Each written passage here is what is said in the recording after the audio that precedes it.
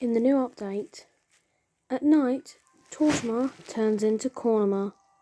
Wow, what a reference.